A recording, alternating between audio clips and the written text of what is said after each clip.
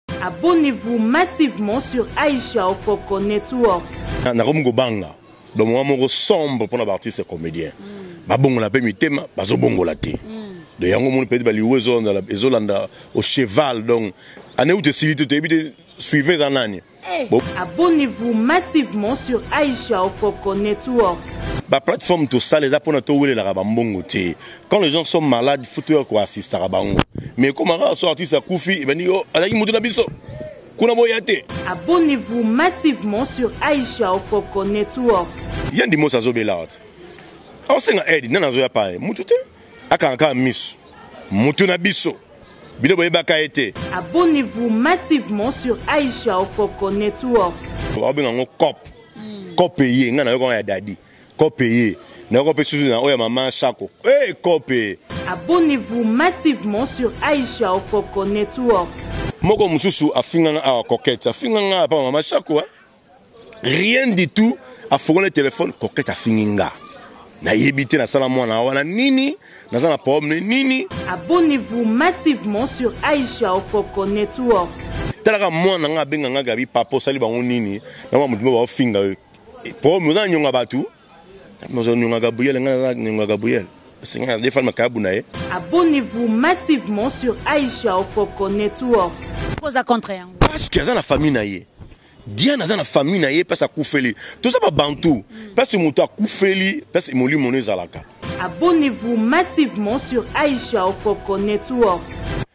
Je trouve ça mal moto akufi na commune ya Makala vie de loin eh, Kizubanata, la Duchesse, ba artiste nyonso makala ba esobe botelema petite sœur na bino akufa makala boso organiser mpo boza bana makala bino nyonso. Abonnez-vous massivement sur Aisha Okoko Network.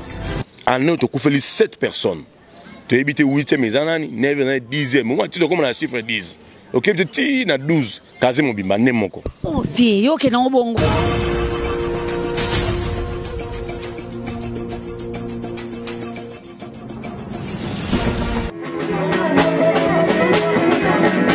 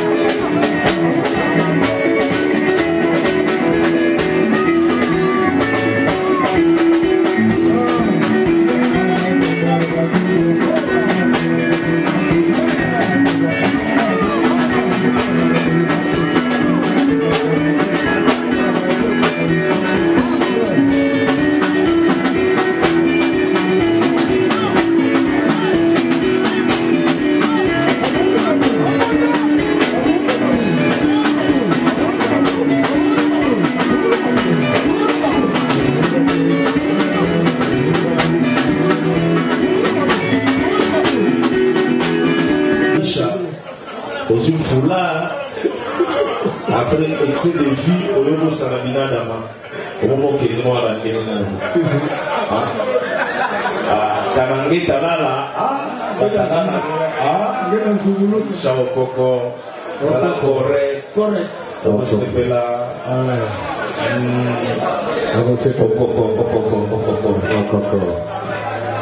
Mosolo bungi rumba. Ah.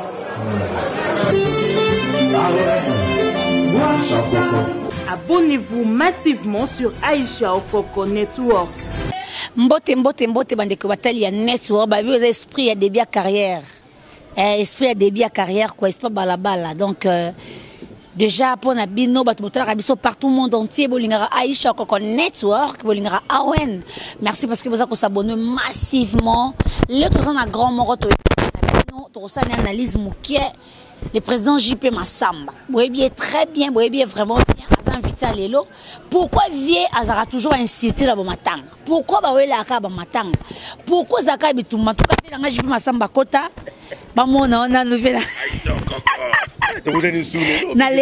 vraiment vie aoyo ah naloti yo bandoto ebele me kala nalibala yango dadi mpe ya sona mon ami eh, eh, eh.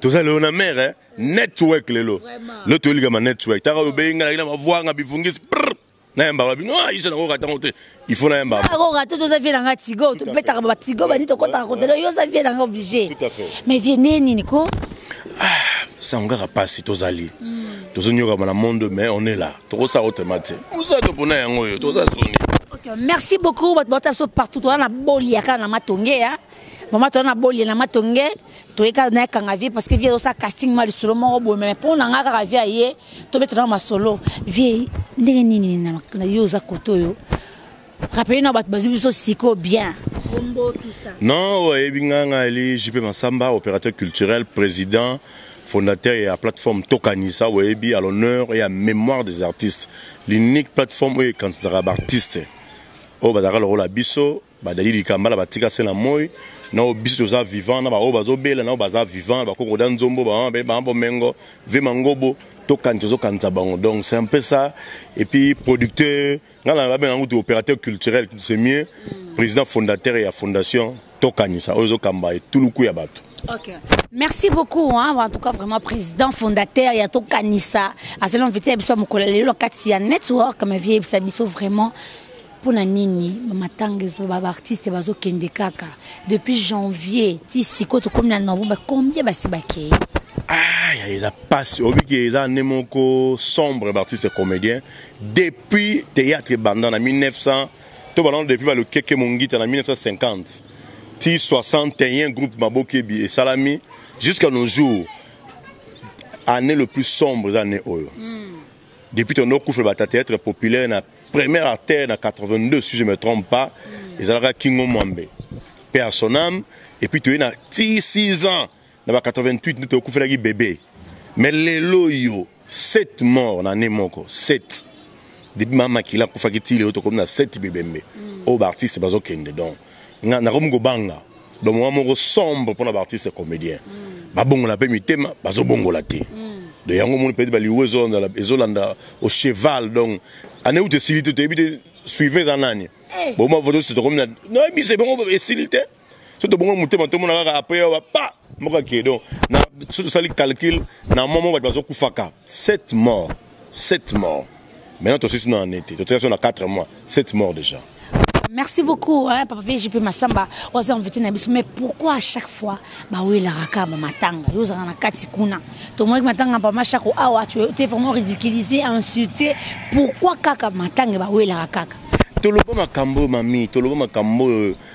Ba plateforme tosala eza pona towelelaka ba mbongo te. Quand les gens sont malades, faut toya ko assistaka bango. Mais comme kaka so artiste akufi, ebandi yo azalaki mutu na biso. Kuna boya te. Esalama na Mundueri eh. Nga na mona na Mundueri, Mundueri akufi avant kuta kufa na hôpital, batu balaki na télévision. Eh, wana aza mutu na biso azobela biso moko nde biso do bakangeli eza boye. Mundueri akufi mutu na bango. Nga na simba touche na matanga Mundueri ba boya même na tia fleur. Gère de fleur. donc bana mpe na posa akendaka s'enregistrer troisième personne bamobenga bato mama ntina bima na fiki na tya flaire te baboya bobo bapesi consigne oyo te tokanisa emata te tya flaire te idem na matanga ya, ya, ya solange leki na nga mpe ya soname ndenge moko te eh, eh.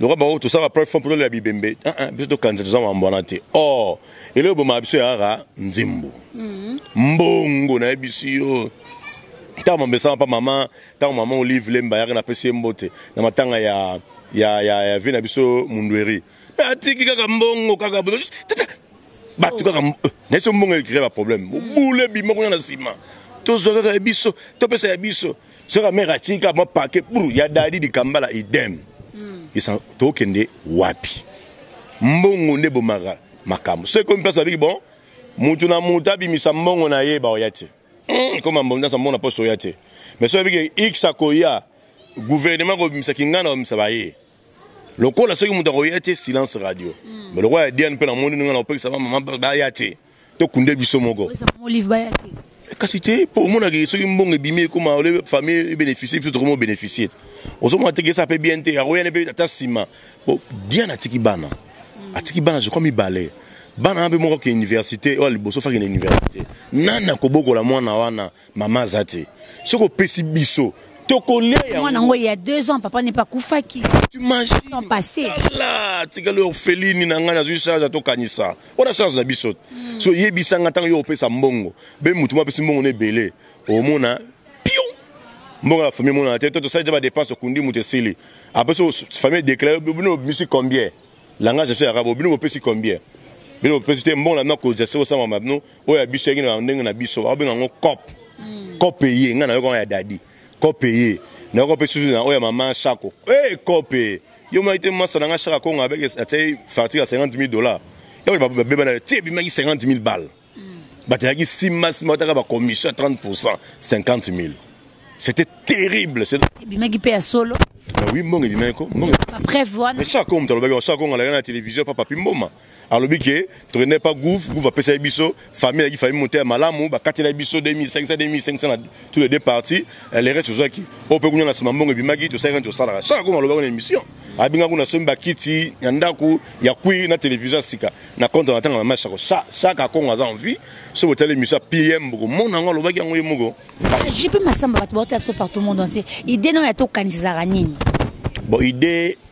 Nga nazo sala mambo ya tsali production. Un certain moment Nzambe a inspire ngai eh, pourquoi ko sala eloko moko te immortaliser yo moko et puis immortaliser ba artistes. Po na mona ko na mort à Vedoudou na fou. Vedoudou a na hôpital alela na kombo ya batu. Pour ne pas citer le nom aloba na kikongo que bo sunga nga na ko kufa. Bo sunga nga ba sunga ye Vedoudou te. Vedoudou a ye ko kufa. Esala nga pasi na zalaka libanda mboka. Tangu Vieux Doudou Ngafora akufi na yotala ba images na bengi Maroza na lela. Na saka voyage mon en Chine, Nzambe inspiré nga bi sala fondation moko oyo ko immortaliser yo moko et puis na ba artistes. Mm. Na tunier siko ah mais fondation na sala ngo kombo nini? Oyo akoma ba fondation ya ba komba ba ba fondation Mandela, ba fondation X. Na tsa fondation JP Masamba. Abi non non, so o tse kombo na yo mukolo okufa fondation ekufi. Tsango Tokanisa. A tirer na Bible apesi nga verset moko Jacques chapitre 1 verset 27. Mpo Bible elobi la religion pure et sans tache devant l'Éternel notre Père mhm. consiste à soutenir le veuve et les orphelins. Abi napesi yo mission kotalaka bana ba orphelin na ba orpheline. Yaya, baartiste nde bakufa wana batikaka bana. Mutu moko te azongaka atala su bana aza te. Mutu moko te abetaka lisolo ya Dadi Dikamba alobe bana Dadi baza te. Mutu moko te abetaka lisolo ya Mundueri. Lelo je vous informe mwasi ya Mundueri kutu maman Olive nasalaki intervention ya mwasi ya Mundueri po abenganaki na ndako pour votre information mami. Mm. J'ai appris asalaki yango. Maman lelo azangi mpasi ya kotala bana bazo souffrir. Bana ya ba mundanga ndanga. Bana ya mambri koko eboeribwe tozalaka na bango mpo toya kaka vite tosala organisation ya matanga tokundi e apres kokunda bato bayaka susu te tokimaka mama sara constant wana beta lisolo nani abeta su lisolo ya charles matufweni ebale mondial personne nani abeta lisolo ya dudunga fura Meme ba collaborateurs nde basala na groupe moko ba beta lisolo te. Yango eza akanisa bana na bango basi na bango le 8 mars maman Olive. Mais oui, il y a tali aza particulier te. Parce qu'il y a artiste comédienne. Alors il y a tali na ndenge na amour et compassion na ye a penser ah bon nalia na le 8 mars ba maman boya. Mais maman ngo bazo benda batu quand les mêmes batants ba poignarder sur mon Congo. Yo ka di ba maman ba sali aza na mutema ko sunga. Mais batu baza nzinga nzinga na yende. so nga na olia na mamoni privilège opesi nga so na solo na Aisha ekomi ah bobi nga beta na Aisha so sali fo no bengo na Aisha non bata bakoma bongo donc lokola azui bango ekoma ke lokola aliaka na bango te la plupart bata maboke la plupart na bango nyoso te mingi moko so kutina moko balangaki eh na kolakisa nga na kopera na mama na kobengolo ba bambila oh oh à l'époque nayoka pasi na motema nabi ah, donc moto azalaki nini aosimba 100 dollar te yo pesi privilège azala na 1000 dollar yango akomi boye mais soki otikaki na 100 dollar na ye wana yango azalaka ndenge aza te donc cetadi mama na motema malamu approche bino bino moko bozo bolia na ye bokomi kosala biso bachantage yoyoka yango na nzela te bapoleli biso nde baya biso bana ya x biso nde bana na ye biso bakolo na ye motema malamu na ye ba retourner ya mabe vous voyez na sens wana naza contre bango donc monaki yo tapesa so copa contre na ngai na contre mutu te mpo na ngai nakendaka kuna te nakutana mama te nasala makambo te toyebaka makambo oyo baeffet oyo tozomona nous jugeons les effets non les apparences Le 8 mars oyebi tomonaki tout le monde a vu. Merci beaucoup à participer peut ba numéro ebele otindela ye ngai ete. Oui, obenga ngai yo obenga ngai to biso zana mure pa mama numéro ya mutu nyoso soko komeli ngai na PV na tindelaka yo. Naza na ngai na temps. Ba femme ba ba ba femme veuve wana bo mona bango le 8 mars wana ozali na bango kuna na mama na Kingakati. En tout cas président JP Massamba joua ki rôle ebele na kotindela ngai ba numéro mingi na bandaki koluka. Mama, est-ce que nabi eh soki mama pesi yo 100 dollars est-ce que etalinga aza na posa bango ngai yesu mutu to abenga numero ya artiste oyo ayebani na akufa atika bana na pesaka parce que peut-être nzambe atouche yo osunga bango so ngai nabe ayisa nanga nanga nango te ah bono tungisa ozwa mpo bango na milie na bango bakopesa yo te eh, yo oyebi toyebani ata otuni ngai mpe nanga ayisa nango te me bauti me namona ye bino bovandaki na kitambo te eh. baza comme baza bongo ingratitude na monde oyo tozalaka ingratitude même plus grand regret no na makambo oyo nyonso ezalaka nini bainsulte hmm, bainsulte mingi je te dis nazalaki milie na matanga mama makila okosaki nini oyibaki babi bakangi mo oyibi balobi nini omoni na mboka oyo nzambe atya bato mosusu baza na bamour e compassion mm. neti mère mama olive aza na motema na ye ya ndenge na ye sunga oyo abotama na ngo voilà biso ya masambo mpe toza mitema na biso mm. mama makila akufi nga azalaki na mobembo naye koya nakutana emedo wana esika mama makila akufi akufaki dimanche nga na ye mercredi moto ayebisa nga makaya aza en vie mm. nabengi mwana na ye fani c'est vraiment akufi oui mama nake kuna mercredi wana na ntongo na bia bato baondima te bato ya diaspora babengi ngai na verifie se mama akufi ya solo natie kutu video oyo bona mwana mwana bi wi mama akufaki kutu nde toza boye toambome ye te mama ya tika ngai moto akufa dimanche ti mercredi boambome ye te eh. ah!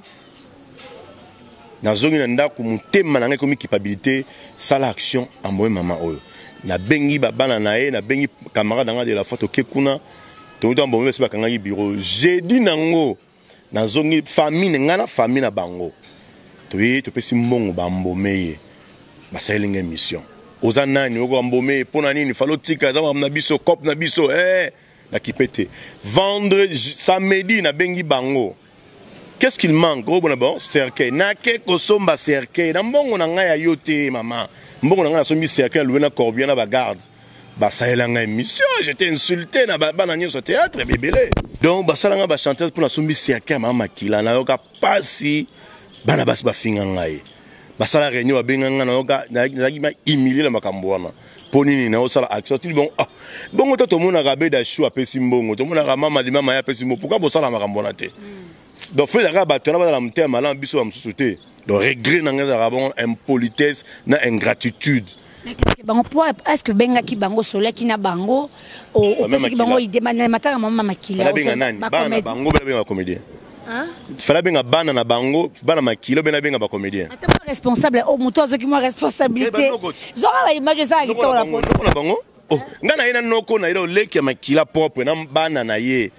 Bana na ye Fanny na nani Mobutu bana na ye bana na ye ndenge na osunga bana ese matanga ezalaka ya biso ezalaka ba famille na bango eza ba famille bato bakufeli nga na ye na famille ya, ya defunte toambome mama na bango baza sur place et puis toke tosombi cercueil bango mo baponi tosombi cercueil na mbongo na ngai est-ce que vous comprendre yango C'est inconcevable. Mutu na mbongo nemo na poche, bongo c'est l'audit. Oboye zanga IGF ya na compte na nga na poche. C'est un sens. Oh. Vraiment. Je fais est-ce qu'il y a un sens mbongo na nga moko na sombi cercueil na fondation ba cotiser to sombi cercueil ba sepelite. So ah, c'est tozo courage ni na kosala bola mususu. Mm. Yango ba matanga ezoya ovaya na hôtel kana musika. Ah ah.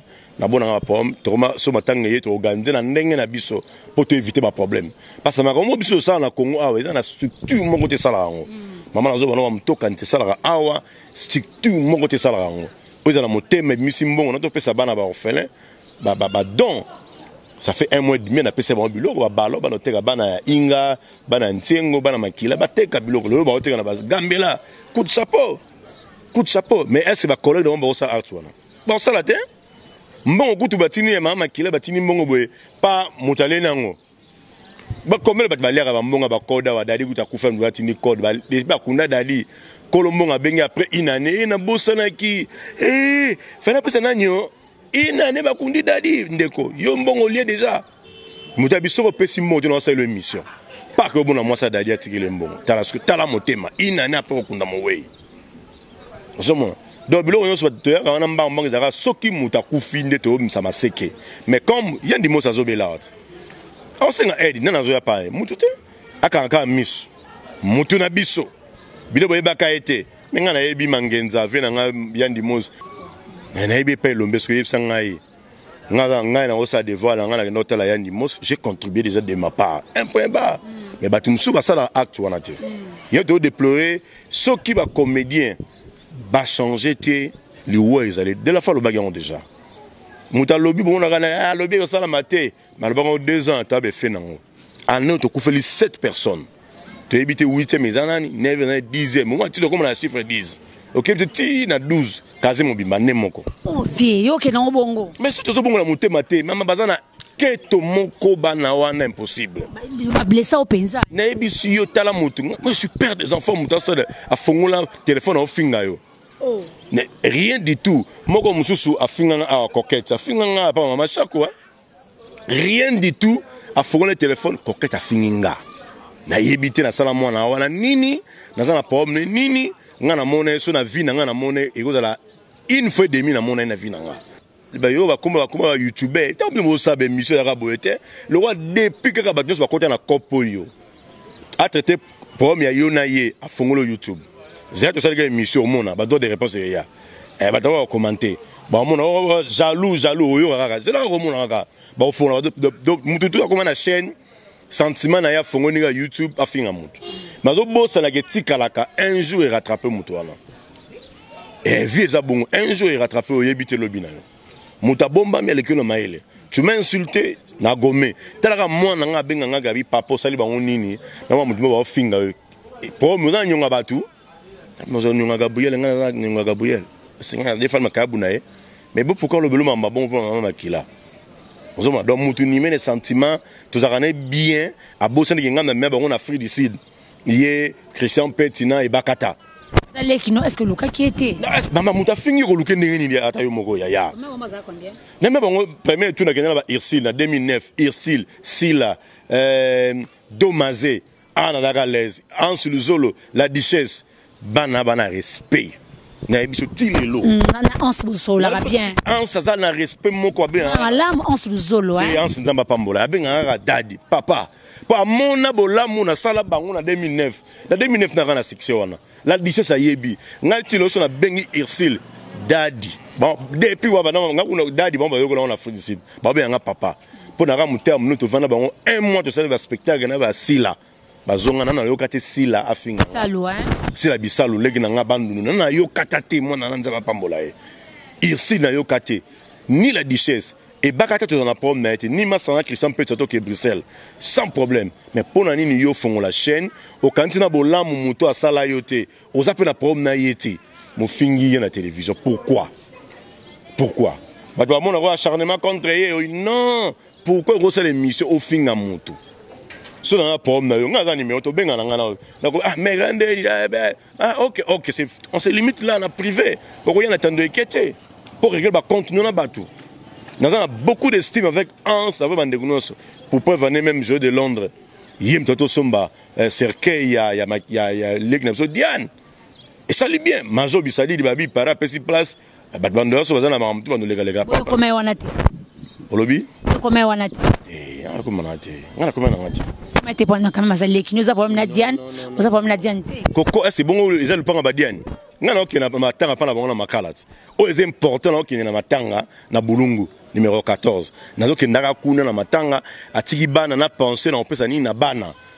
oyo eza capital oyo etika ezango bafitilité bato baluka bala bana nde bakokunda ye so kuna tokosola neti nini apres to nanga président ya structure nga bobengi mpe nga te mambo osala naya kaka boye non non non oyo baye baza bacollègue na ye bayaki basala nga aza collègue nazalaki président na ye ah, eh, alors mpo naya wana Bo mutu fa benga nga feu via bengi nga na koko ya po via ze ne.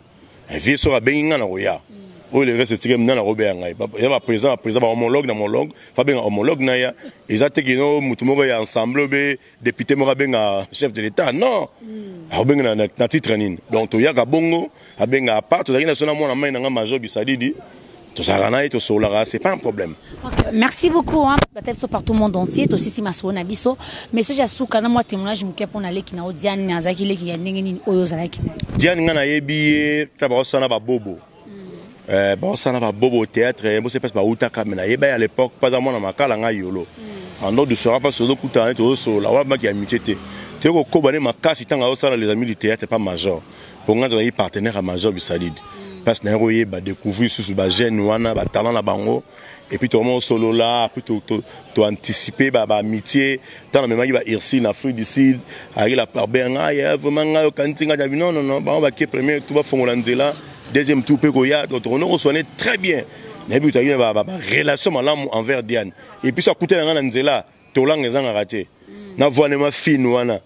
donc faut libere nga ke transparent ndeni eh apesa nga tovanda ne trop na kapela ye Diane eh.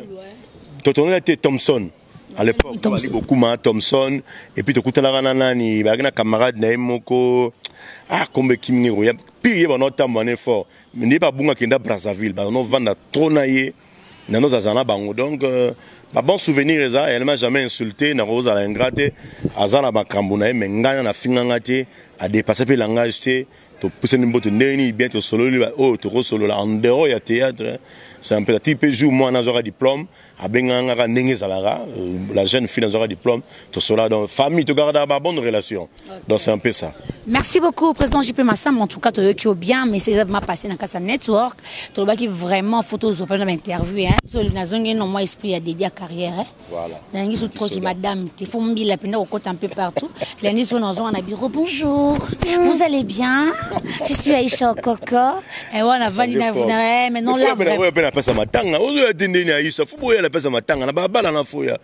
na makala fo ya mona motie tige tolobeli yango wana omoni place madiana azalaki bandeko na ye bangala nde badekore lupangu ça fait du bien ngaka na opesa conseil na bato bangi badeplace matanga euh, bosala yango te c'est pas bien yo oza contre yango oza contre yango parce que aza na famille na ye Diane aza na famille na ye place akufeli toza ba bantu place moto akufeli place molimo no ezalaka eza lokola sike bolongola ye aza na lemba bokende yango na selemba osi base de quoi naosala acharnement contre personne mais tosala baanalyse moto akufi aza na famille na ye biologique bilamba na ye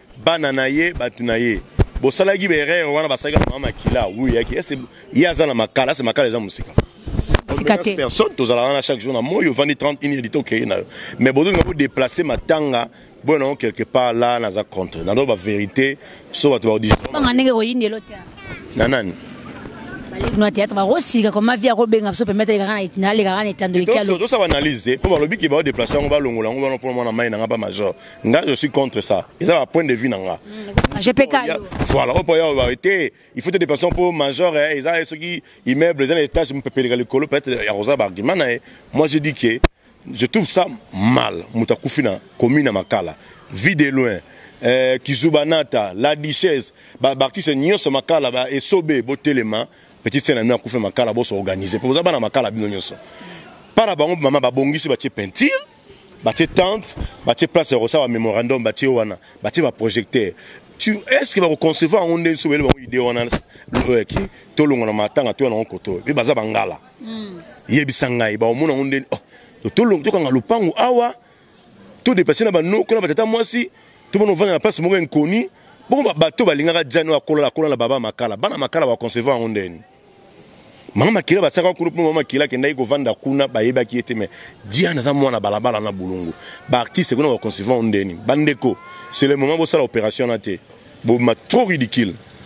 Soki boza na ba indetron na bino, bobima trop ridicule, bodeplace yango. Parce que moto aza sensible, admettons, mama badima balinga ye otala famille, otala famille yango wapi?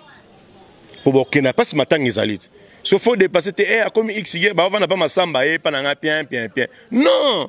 il faut akende agare motuka ne wana admettons motu ma yango osunga famille na biloko na ye inde inde ti na bulungu nde tosalaki mpe bashako awa ah, mais fai balongola mpe bashako te shako mpe tolelaki ye na lopango kutu moto apesaki fai balongola yango mpasi shako anovanda wana moto akoya mpasi ndeko avandaka mpo esprit na ye ezorode wana esprit ezo rode bana makala ebele bayebaki diana avandaka wana to respecter famille ya bato topesa bango valeur so tonto contribue nde jolie de londres azwi cercueil bandeko mosusu bakozwa xy baali bokuma badocteur songa bango bato ebele bazwi mpe yango ekosala malamu mingi merci beaucoup natondi yo botondi merci beaucoup ovandisa bayo te pesa bango mbote eza te non napesi yo yo ayiso ya kokombote bato balinga ngai napesi mbote oyo oh, basepe na ngai plus 243